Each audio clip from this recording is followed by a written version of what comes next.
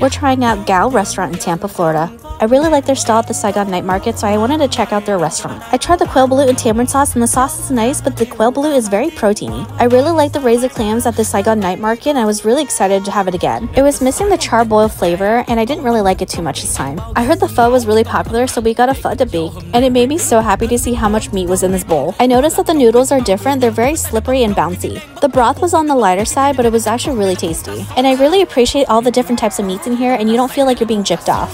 I tried one their special dish, ganbung, which is a tomato base with the water spinach. I love that there's fresh tomatoes and the water spinach isn't overcooked. They also provide mam tom, which is a fermented shrimp paste on the side for you. The broth is definitely on the lighter side, a little too bland for me, and the noodles were a little overcooked, but this dish might not be for me. And lastly, we tried the bun bo Hue, which is the spicy beef noodle. This came with a lot of fresh veggies and herbs, as well as so much meat. They also have the blood cubes, which were really soft and smooth. I did find all the broths to be on the lighter side for me and just